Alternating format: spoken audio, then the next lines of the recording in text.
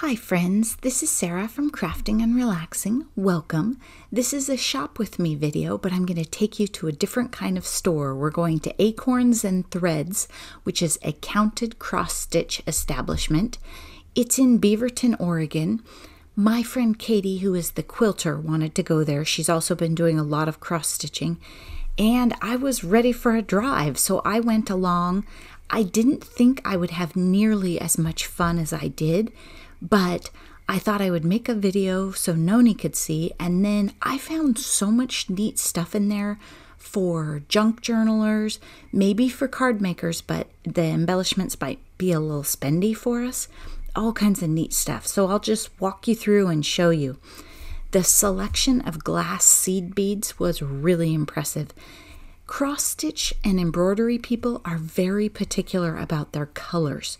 So the selection of beads and colors and threads and everything is just amazing in this store. There's a whole section in the back of metallic threads on spools. I failed to get video of that, so if you go there, be sure to check it out. Again, this is Beaverton, Oregon. I started to look at the needles and stuff because for making journals, I need some bigger needles. But then I got sidetracked and I wanted to see what Katie was doing. Look at this store. It is packed. It is absolutely packed. And I'll tell you about how to actually get in there and shop in this video also.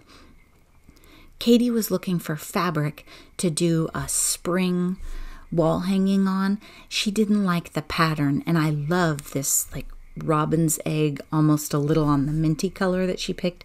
When she said she wanted blue, I even had my doubts, but when I saw the color she meant, I was in there are all these rounders with wonderful, wonderful textiles on them tassels, junk journals, threading things, bookmarks. The selection in here is unbelievable.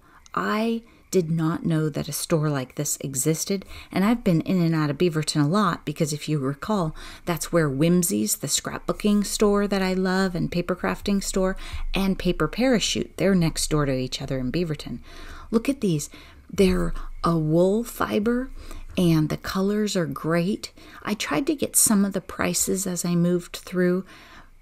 I do not think you would go there to buy your embellishments as a value necessarily. You would go there for the selection, the fact that you could get any perfect pink or blue that you needed, and just the sheer variety. Look at these things, these are cool.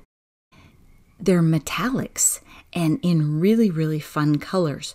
So if you wanted to do threads on embellishment clusters or little tiny bows, look at these fuzzy stuff things.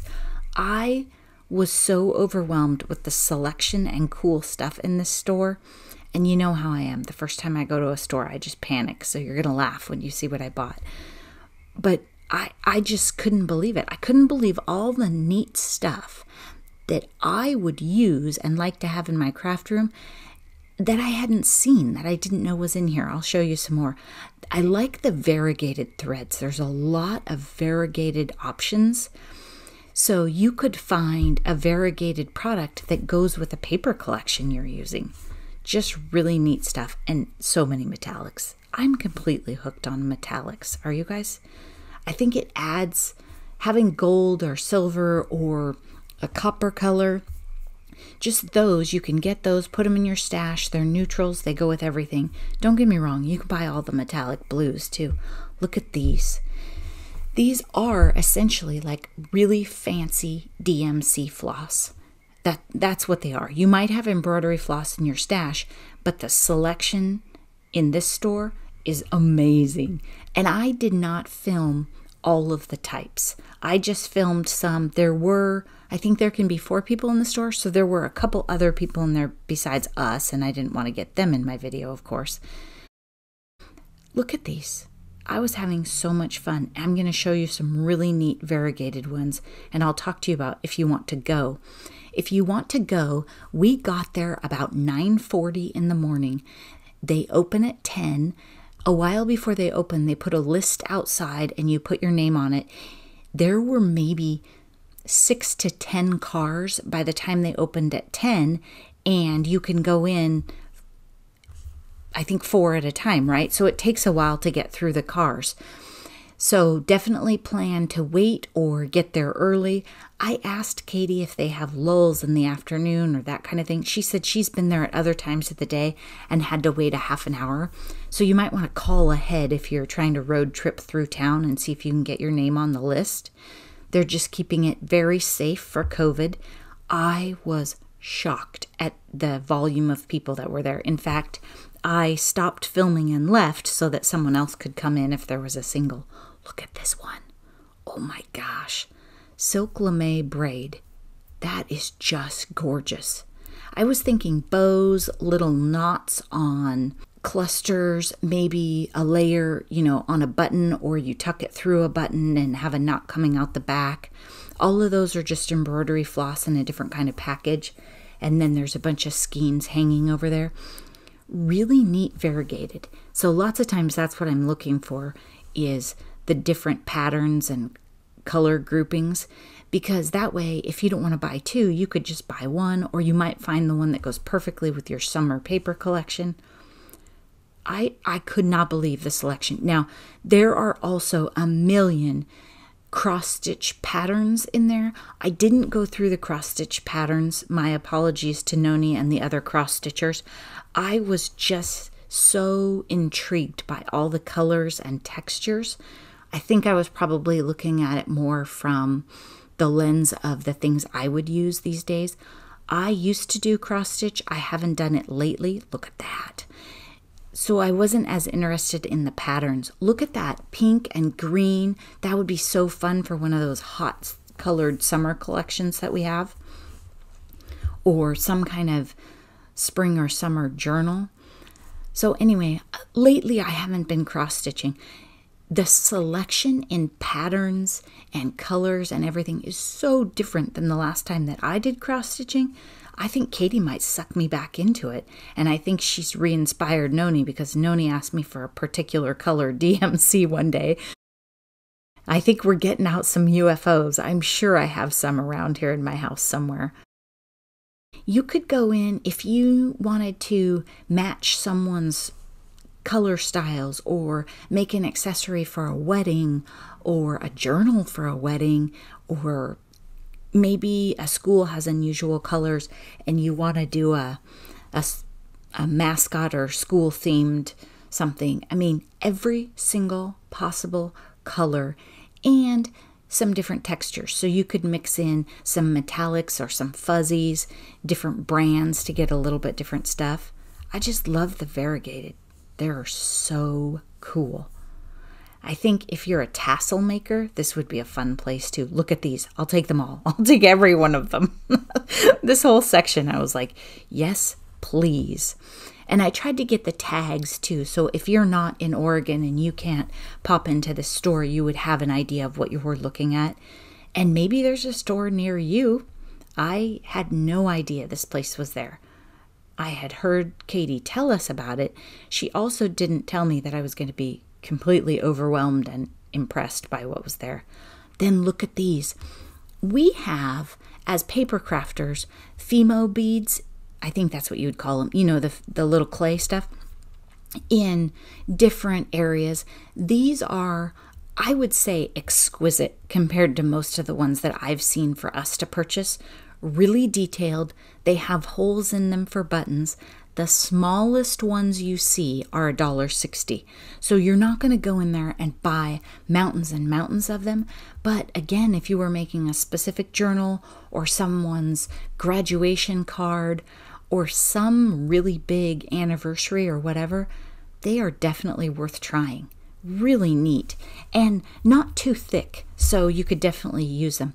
This drawer, they're ceramic. Look at those stars. I forgot to come back to this drawer. I would have bought some of those little blue ones that Katie's pointing out for me. They're ceramic buttons. Love them. This drawer, they're also ceramic. So you have all these animals in ceramics. And I'm just trying to give you an idea of what they have. So I'm not going super, super slow, but that way you're seeing the selection. This is a whole other divider next to it. So two sets of them with drawers.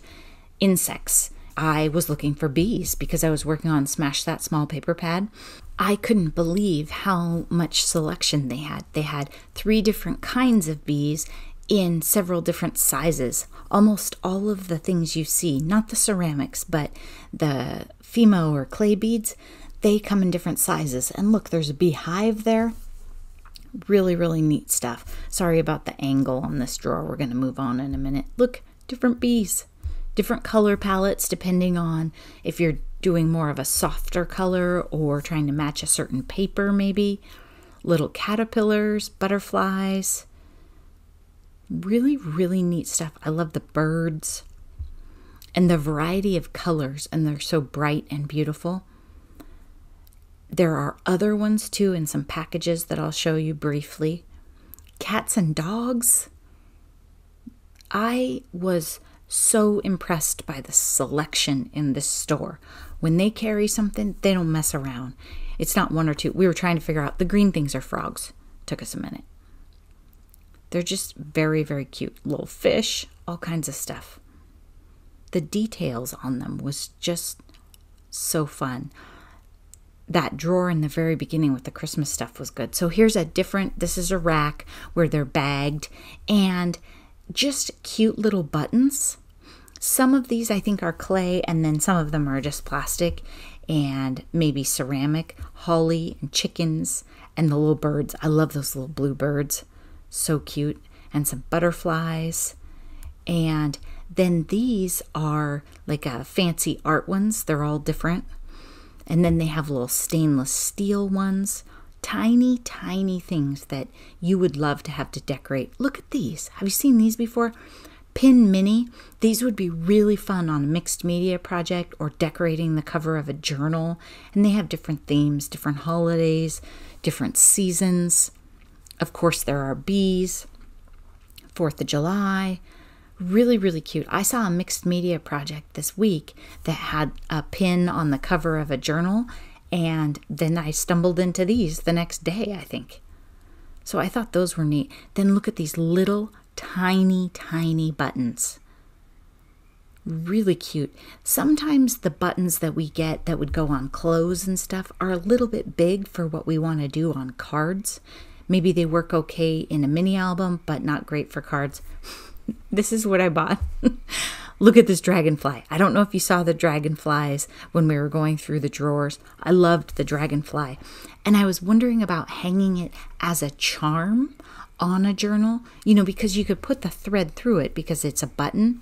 And then the bees.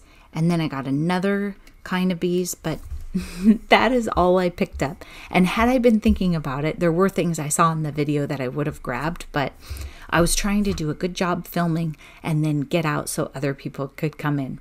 Thanks so much for watching, and I will link to information about this store down below in the description. Bye bye.